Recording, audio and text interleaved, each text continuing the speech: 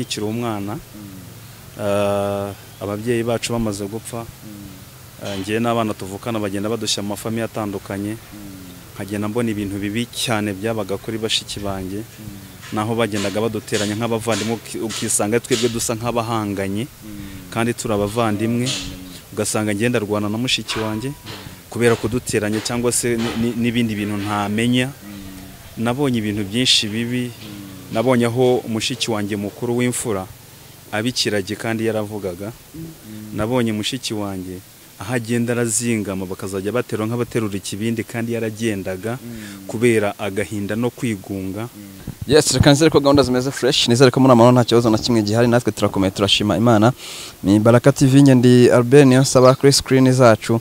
Tukabona umusaza uh, graduatinze eh ni umusaza ariko w'umunyeshuri. Meze ute Freddy? Ameze neza cyane. Reka oya wikivu nanone ni umunsi wawe urashima imana? Eh ndashima imana cyane. Eh, uyu munsi ni umunsi w'ibyishimo kuri njyewe bitewe n'uko nyine hari achievement umuntu aba yacivinze mu buzima. Eh, ah, umuntu aba abitegereje igihe kirekire ariko umuntu akabigeraho nanone niyo mpamvu umuntu aba agomba kunezerwa no gushima imana.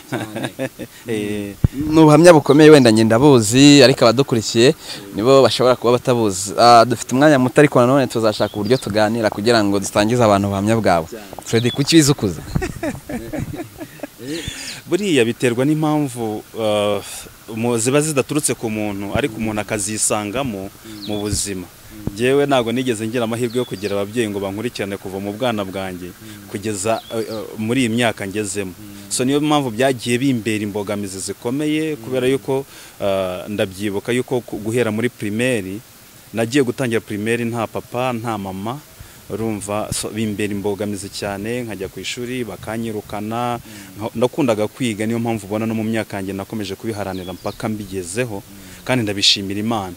So natangiye primaire bakanyirukana nta school fees nta ki nkagenda ejo nkagaruka bakanyirukana gutyo ariko sinacika intege mu buzima.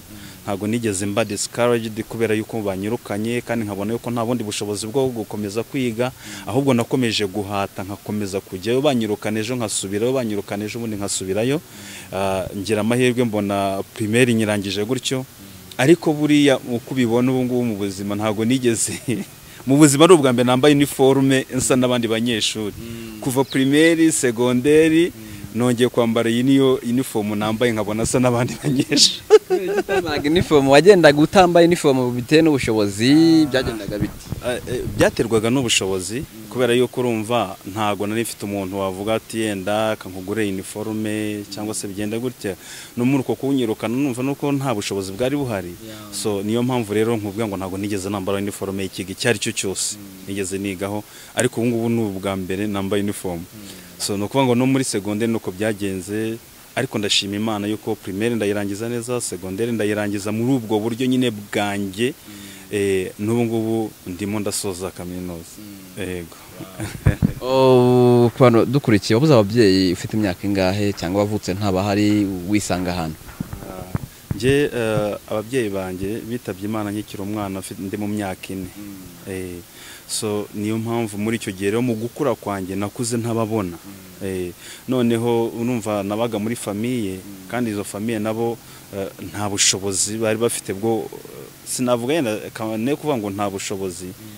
Ahubwo ni uko ngira ngo iyo uri imfubyi a- ababyeyi yenda mu bana bashaka kutabiha agaciro cyane ngo bumve ko nawe bagufata nk'umwana wabo kuko n'abana babo barigaga kandi bambara inifomu ariko nkaba- nkabamo numva meze nk'aho sinzi ukuntu nabyita ariko nkahora n'icyo kintu ku mutima ariko ntibinci intege zo kuvuga ngo reka mbakurikire nanjye njye ku ishuri.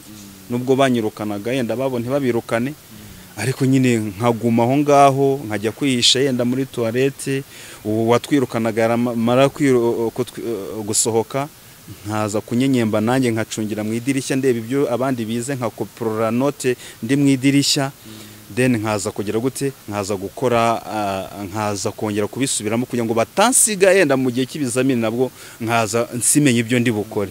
Eh, ni muri ubwo buryo rero byari bimeze. Eh, urayirangiza segonderi yo yakubereye ite ngira ngo mu gihe cyanyu mwebwe hari hatarazaho bino bya 12 years education ngo wige utaha yari ukujya muri boardings ukiga Mm, ntekereza ko mwebwe muri mu gihe cyanyu hatariho nine years be- so ni ukuvuga ngo mu- eh, ntuzaba segonderi uburyo nayizemo ni uburyo butangaje. Njye natangiye kwiga segonderi niga kandida libre so ni ukuvuga ngo na- narakoraga nimugoroba mvuye mu kazi nkajya ku ishuri. Eh, nize remera katolike eh, hari i remera. Niho nigiye eh, guhera mu wa mbere kugera mu wa gatatu. Then high school nkomereza no muri joke nabwo muri kandida mbona diplome yanjye nziza ifite amanota yanjye mirongo itatu n'atandatu ariyo yatumye mbasha kuapurayinga muri davis college. Ubu uyu munsi nkaba ndimo ndasoza. Davis ndagakatamo kubera batamuhaye yo kwamamaza.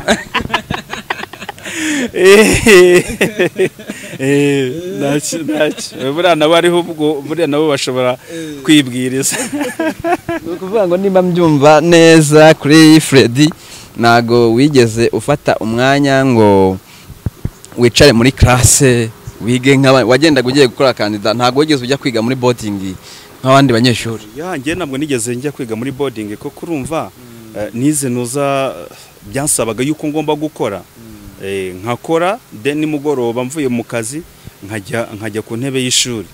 Eh, ni ukuvuga ngo ntabwo rero nigeze nigeze njya muri eh, public schools ahubwo ngiye nagiye muri private schools ahantu nagombaga eh, kwiga igihe nsho- eh, nshobora kubonera umwanya. Eh, so niyo mpamvu rero nagiye hano muri Sainte Famille ndagenda nyine nkazajya niga nimugoroba mvuye ku ishuri. So then eh, niyandikisha mu bakandida libre bagomba gukora ibizamini bya leta nanjye ndiyandikisha ndakora ndatsinda nzana amanota yanjye meza.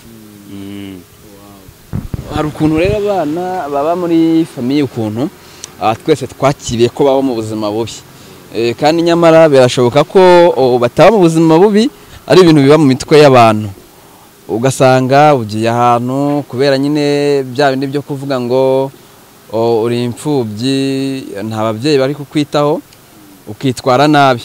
Bagukebura cyangwa baguhana ukumva ko nyine bibaye ikibazo ku buryo muri ino minsi umuntu wese wabaye imfubyi ari kuvuga amateka ye cyangwa ubuhamya bwe ah, akenshi yumvikanisha ko kuba ari imfubyi byatumye aba mu muryango ntiwamwakira. Hari ukuntu wowe kuba udafite ababyeyi byagutushaga bikaba byatuma utitwara neza mu myitwarire? Ah, ah, ukaba wayizira ukarenganya aho uri kandi uri kuzira imyitwarire yawe. Oya njye ntabwo byigeze bimbaho. Kubera yuko uh, nubwo bwose nari imfubyi ariko nageragezaga kuba mu miryango ariko na yo ubona yuko nkabana n'abandi bana. Usibye ko hari igihe nyine uba wumva hari ibyo ubona ukumva ugize agahinda bigatuma rimwe na rimwe wigunga kuko hari ibyo wakagombye kuba ubona nk'umwana hari uburenganzira wakagize nk'umwana ariko ntububone. Kandi ukabona hari abandi babubona ari abana bagenzi bawe wowe utabibona. Rimwe na rimwe ukumva birakubabaje bikagutera n'ikintu ku mutima yenda navuga nk'igikomere. Ariko ibyo ngibyo ntago usibye ko n'ubuzima bubi. Hari ibintu bya eh, eh, nabwo nagiye mbucamo. Nagiye mbucamo nkisanga mu biyobyabwenge nkisanga mu bintu. Ariko ngerageza ah, ku bw'amahirwe n'ubwo bwose ah, naje kujya mu yindi famiye eh, nisanga nyine twigishwa cyane ibintu bigendanye n'iyobokamana. Biramfasha cyane binkura muri ka gahinda no kwigunga ahubwo ntangira kumva yuko imana ari data. Nkimara kwizera imana yuko imana ari data akaba ariyo mpanga amaso yuko ari we mubyeyi ubu ngubu ndeba. Nibwo nabonye ubuzima buhinduka ku buzima bwanjye. Ni bwo natangiye kuba umuntu muzima ni bwo natangiye kubona amahirwe eh, y'u- eh, y'ubuzima no gusubira mu ishuri rimwe na rimwe nkabona abantu banansapotinga ngo jya kwiga. Eh, eh, kubera wagize imyitwarire myiza no kwigira icyizere yuko wavamo umuntu. Ni ukuvuga ngo nimba mbyumva neza fred tureba kuri sikirini zacu. Yigeze kuba imbobo. Ah, ubuzima bwa kibobo. Ntago navuga ko nabaye ku- kuri street cyane. Ariko gusa nigeze kuba muri famiye ariko struggling icyo gihe. Ubwo ngubwo hari icyenda gatanu ndi kuri ndi Kagitsumba aho bita boda aho najyaga njya ncuruza ikarito Eh, so ubwo byansabaga kujya Sofia ubwo Sofia ni ubwo ni hakurya muri Uganda. Nkagenda nkarangura utuntu nkatuzana ku mabisi ariya ku makamyo kuri boda nkatuzunguza. Cyangwa se nkafata utuntu nkatujyana amatimba ku munsi w'isoko. Nkagaruka muri ya famiye ni ho nadutunganyirizaga. Ntago nigeze mba mu kiraro cyangwa ngo ngire mbe ubuzima bwo ku muhanda. Eh, eh, ibiyobyabwenge biba binyweye gute rero binyweshwa na bande. Ubinyweye uherereye Mhm, ibiyobyabwenge. Ubwo icyo gihe ah, navuga ko nari ntangiye no kwinjira mu kazi. Gusa kugira gurupe mbi ikwanduza n'ingeso mbi n'imico mibi. Aho ngaho ni ho natangiye kwisanga nkoresha ibiyobyabwenge. So ni ukuvuga ngo nari maze kugera mu ntuza mu hano natangiye nkoro nakozeho ubukomvayeri igihe gitoya eh, icyenda n'icyenda muri bibiri deni bibiri na rimwe urumva nari maze kwinjira muri gurupe cyane y'abashoferi n'abakomvayeri ubwo urumva kubera ko uh, famiye nari ndimo hari imodoka bari barangure nagombaga gukoresha. Abo bashoferi twakoranaga rero. Nibo batangiye kunyigisha gukoresha ibiyobyabwenge. Nisanga noneho urumogi ari rwo rutangiye kumbata cyane ariko hamwe n'imana ndumva nararukoresheje mu myaka igera mu munani. Unyweye urumogi imyaka umunani. Umunani. Utarafatwa ngo ufungwe? Ntabwo nigeze mfatwa.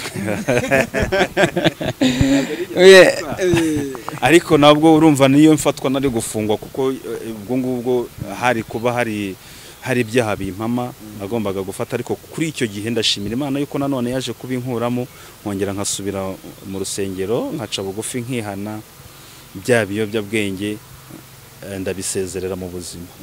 Kandi nanone nyuma yo gusezera ibyo biyobyabwenge nabwo natangiye no kwiga segonderi Eh, noneho ubuzima nyine bugenda buhinduka eh, kugeza na n'uyu munsi ndimo ndakomeza kaminuza kandi ndumva mfite n'icyizere cyo gukomeza no kwiga. Eh, kubera yuko imana twizeye cyangwa se data nabonye nizeye aracyanshyigikiye ku byo nifuza kugeraho byose. Mm. Ni ubuhe buzima utazibagirwa uhora ukurura ishu- ishusho n'isura yabwo wanyuzemo nakita bubi. Eh, ubuzima bubi nanyuzemo eh, ni icyo gihe nari nkikiri umwana. Ababyeyi bacu bamaze gupfa eh, njyewe n'abana tuvukana bagenda badushya mu mafamiye atandukanye nkagenda mbona ibintu bibi cyane byabaga kuri bashiki banjye naho bagendaga baduteranya nk'abavandimwe uki- ukisanga twebwe dusa nk'abahanganye kandi turi abavandimwe ugasanga ngenda rwana na mushiki wanjye kubera kuduteranya cyangwa se ni- ni- n'ibindi bintu ntamenya nabonye ibintu byinshi bibi nabonye aho mushiki wanjye mukuru w'imfura abikirage kandi yaravugaga. Nabonye mushiki wanjye aho agenda arazingama bakazajya baterura nk'abaterura ikibindi kandi yaragendaga kubera agahinda no kwigunga. Kumara umwanya munini yicaye ahantu yigunze iyi mitsi iza gufatana y'aha ngaha. Nza kumubona nanone ap- apfira mu maso yanjye mubona. Ubwo ngubwo yari avuye aho ngaho aho aho ngaho yabaga ari ni ho izuba ryamusangaga rikamurengeraho ni ho imvura yamunyagiriraga atabonye umwanura ka- kare ko mbyita. Aho ngaho ni naho yavuye mu kagoroba nko mu saa kumi n'ebyiri basize ukuntu byari bigenze. Mbona yibarangura kuko hari imbuga isa nk'icuritse agera hepfo umwuka waheze. Baterura bajyana mu nzu umuntu arapfa. Ibyo byose biraza biba igikomere ku mutima wanjye numva n'uyu munsi iyo mbitekereje birambabaza cyane. Eh, ni ukuvuga ngo wenda hari umuntu udukurikiye ntabwo yigeze arogwa ahubwo uburyo yari afashwemo ni bwo bwatumye agira izo ubwo bumuga. Hari abantu bagira ubumuga nk'uko tubyizera mu myizerere yacu bakavuga ati bamuroze bamuzinze gutya. Ni ukuvuga we kondisiyo yari arimo nizo zatumye ah, ahinamirana akamera atyo. Iyo ugeze mu muryango umuryango ntuku imyaka ingahe? Mm, urebye muri icyo gihe navuga ko ari nko mu myaka navuga nka cumi n'itandatu cumi n'irindwi. Eh, muri iyo myaka rero yari afite. Twageze muri famiye noneho ubwo ngubwo dusa nkaho tutakiriwe neza. Hahandi umuntu aguha ikintu yajya ku kigo akaguha nk'uhimbwa hahandi ubona nta muntu ukwitayeho nta n'ushaka kukuvugisha. N'uvugiye kukuvugisha akakuvugisha nabi nk'aho hari icyaha ufite. Ibyo ni byo byatumaga umuntu rero agenda akisanga yigunze ari wenyine. Muri kwa kwigunga rero kwicara ukamara umwanya munini ni byo byagiye bituma imitsi ye igenda ihina. E- e- nta burozi bwigeze bubamo ni iyo kondisiyo y'ubuzima. Nta burozi bwigeze bujyamo. Ni iyo kondisiyo y'ubuzima yamuzaniye kumera gutyo. No kumara umwanya munini ngira ngo atavuga niba simbizi. Ubwo ngubwo shiduka neza no wanamuvugisha ntagusubize. Eh, so bivuga yuko yenda sinzi ukuntu yenda abantu bafite ubumenyi buhagije ku bigendanye n'imiterere y'umuntu. Ashobora kumenya yenda ikibazo ashobora ku- kugira kikamwafekita muri ubwo buryo kugira ngo izo ngaruka zose zibe zamugeraho. Mm. hanyuma hari umuntu ushobora gushimira mu buzima akavuga ati uno muntu nubwo nari mu buzima bumeze gutya ariko ndamushimira abaye umwamba cyangwa se inkingi y'ubuzima bwanjye. Mbere na mbere reka nshimire umuryango wa Bishop John Mihigo. Umuryango wa Bishop John Mihigo kuva twatangira kubana nyine ni umupasiteri afite itorero. Twakunze kuba mu buzima nyine bwo gusenga no kwigishwa ijambo ry'Imana no kugushyiraho igitsure cy'igikabwe kandi kikujyana ahantu heza ari na cyo cyatumye gihindura ubuzima bwanjye. Kandi si n'ibyo gusa hagiye haboneka na sapoti imuturutseho yo kumfasha kugira ngo nongere kwinjira mu buzima bwo kwiga. Ah, n'uyu munsi ndamushimira ah, n'ibi ngibi mbashije kugeraho ni we mbikesha. So ndabishimira imana nawe ndamushimira cyane umuryango we imana iwuha umugisha cyane. Mm. Umuryango we imana iha umugisha cyane nari ngusanze aha ngaha. Ah, umwanya ni mutoya. Ah, ibyo tuganire ni incamake abantu bazumva ikiganiro muri rusange. Freddy ndabizi ko ufite umuryango. Nk'ubwo buzima bwose sitarago hari ukuntu abasore b'ubu ngubu dutinya gushaka kubera nyine ejo hazaza. Wowe washatse bikoroheye. Umva ntago ntago byari binyoroheye. Ariko gusa nanone numvaga ntaba mu buzima bwa njyenyine. Kuko nabaye njyenyine igihe kinini numvaga nifuza nanjye kuba kubaho mfite umuryango mfite umuntu nibura naganira nawe. Eh, imana itugirira neza impa umudamu mfite n'abana batatu b'abahungu nabo barimo bariga. Imfura yanjye igeze muri segonderi mu wa mbere. Nanjye ndi ku ishuri. Eh, ahubwo ubu ngubu urabona ahubwo nabaye umwana muto urabona ndi kumwe n'abana bato. Nanjye ndi umunyeshuri. Eh, na byo kandi ndabishimira imana. So umwe ari mu wa mbere segonderi umukurikira mu wa gatatu primaire umutoya ari mu wa mbere ubwo urumva yuko nyine nakuze Eh, cyane. Mm. Mm. umuntu udukurikiye aka kanya ukurikiye baraka tv mu bice bitandukanye dukurikiye aherereyemo hari umuntu watakaje icyizere cy'ubuzima ariko ushobora kumva ibyo Freddy avuze. Ati burya ntarirarenga nanjye byagenda gutya na gutya. Umuntu uri mu kaga uri mu buzima bubi atishyizemo n'uri mu buzima bubi agiramo uruhare uri kutwumva. Wamugiriye inama abantu babi bombi. Hari umuntu uri mu buzima bubi yarijyanyemo hari n'umuntu uri mu buzima bubi kuko yisanze nyine nta kindi agomba gukora akagera ku gahinda. Burya n'umuntu wijyana mu buzima bubi eh, abijyamo ari byiza ariko iyo agezemo ngira ngo amaze kugira ingaruka. Hari n'ubuzima ugiramo wamara kugira ingaruka zabwo utakishoboye kuhikura. Ukabaho mu kwicuza ariko bwa buzima ntubureke. Abo bantu babiri bombi babagiriza inama Ah, reka mpere ku muntu navuga wijyanye ariko ntekereza ko nta muntu wijyana mu buzima bubi kuko hari impamvu iba ibimuteye ishobora guturuka ku bantu cyangwa se ishobora guturuka no mu buzima yisanzemo. Byose akabona nta yandi mahitamo akaba ya- a- ashobora gushiduka yatannye akisanga mu- akoresha ibiyobyabwenge akisanga ajya kwiba yabaye agendana n'abajura. Buriya abo ugendana nabo nibo baguhindura. Iyo ugendanye n'abajura uba umujura. Iyo ugendanye n'abasambanyi uba umusambanyi. Iyo ugendanye n'abasinzi nawe wisanga uri umusinzi. So namugira inama yo gutekereza abo agendana nabo. Noneho agatekereza n'uburyo agomba guhindura ikipe arimo gurupe arimo mbi ishobora kuba ariyo imwefuwansa gukora ibyo ngibyo arimo arakora.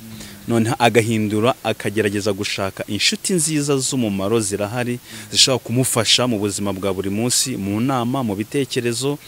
Yewe no mu bushobozi birashoboka. Ikindi ikindi kintu na ibyo ngibyo no ku muntu yenda ushobora kuba yaratanye akisanga nawe ari mu, nzira mbi. Yarabyijyanyemo. Ah, harya undi wari wambwiye wambaje ni- Eh, ubuzima? Buriya reka nkubwire. Uyu munsi bishobora kuba ubona nta buzima ntaki ariko ndagira ngo nkubwire ngo haba hakiri ibyiringiro. Eh, nubwo ubona bigoye. Ntago n'ibi ngibi kuba ngeze kuri uku kugira ngo ube ufite inshingano z'urugo ufite inshingano z'akazi k'abantu ugomba gukora ukagerekaho no kwiga ibyo byose ukabikombayininga byose ntabwo ari ikintu cyoroshye. Ariko turibabaza kubera ko hari icyo dushaka. So namugira inama rero y'uko nawe agomba kuva muri ibyo ngibyo ntatakaze ibyiringiro ahubwo ukumva ko bigishoboka icya mbere gusenga no kwizera imana. Mu gusenga no kwizera imana no gutegereza eh, eh, gutegereza bijya bitanga umusaruro. So navuga rero ntacike intege ahubwo nahindure ahindukire we yizera imana kurusha ibindi. Ibyo bizamufasha cyane kandi biza- bizamuhesha n'umugisha wo guhura n'izindi. Nshuti nziza zishobora kumubera inshuti z'umumaro zishobora no kumufasha. Kandi ikindi nanone buriya kugumana ibikomere ku mutima ntubivuge na byo ntabwo ari byiza. Kuko bikomeza nyine wumva ari ibintu bikuri ku mutima ariko iyo uhindukiye ukajya yenda ugahura n'inshuti nziza ubasha ku- kuganirira na byo biba byiza urumva bikaba byagira ahantu bigukura ndetse no ku mutima ukumva bikomoye ku mutima ukabohoka. Nanjye narabohotse. Yego. Nakurekura cyangwa tugakomeza tukaganira. Biraterwa n'igihe cyawe. nta kibazo yenda iminota mikeya ntabwo umunsi wanjye wo kuganiriza eh, eh, abakunzi ba baraka tv ndetse n'abage- n'inshuti zanjye muri rusange. Mm. hari ikintu ujya ushimira umudamu bitewe n'aho yagusanze? Ah, ikintu nashimira umudamu reka mushimire ko ntabwo numva ndi jyenyine turi kumwe kandi yambereye umugisha numva mfite umubyeyi Eh, nubwo ari umudamu wanjye ariko umuha agaciro nk'ak'umubyeyi kuko amfasha muri byinshi. Ngewe ntashobora ntanakwifasha no muri ibi bihe bigoranye mba ndara rimwe mu kazi ubundi nkaba ndi ku ishuri nkamara n'iminsi yenda ntageze mu rugo kuko hari igihe byansabaga kuva mu rugo ku wa gatanu nkazasubirayo ku wa mbere nkurikirana ibintu by'amasomo n'akazi k'abandi. Ariko ibyo byose akabyihanganira so nawe namushimira cyane. Kuko yambaye hafi aransapotinga nawe mu buryo bwe ashobojwe Mm. urakoze cyane. Natwe reka tugushimire nka baraka tv kandi tukwifurize umunsi mwiza. Hariya bavuga congratulation thank you very much. Yeah. Much appreciated kabisa eh, eh, eh, imana ibahe umugisha nawe.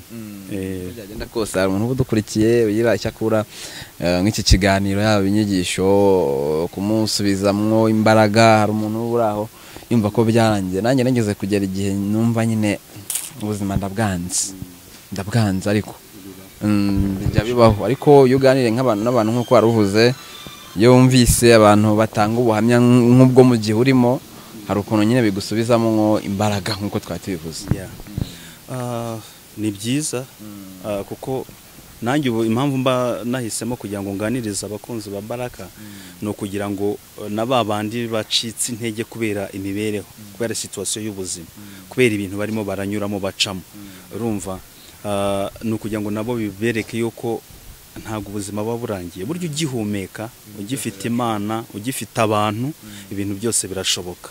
Imana eh, ikoresha abantu kandi ukabona hari ubuzi- ubuzima bwawe bugiye buhinduka. Nanjye ni uko rero kwizera imana gusenga imana guhura n'abantu bigenda bifasha abantu mu guhinduka k'ubuzima yes. Eh, ni byo. Eh. Fred urakoze cyane umunsi mwiza. Eh, sawa sawa murakoze cyane Yeah. sawa sawa.